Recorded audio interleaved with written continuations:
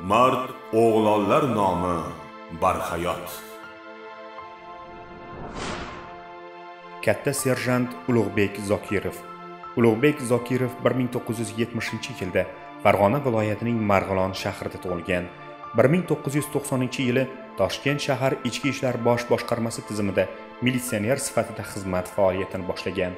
2000 yilning 9 yanvar kuni xavfli jinoyatchini ushlash jarayonida olingan tan jarohati tufayli vafot etgan.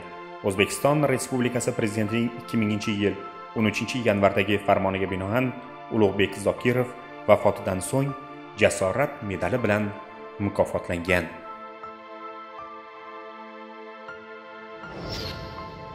Mard o'g'lonlar nomi barhayot.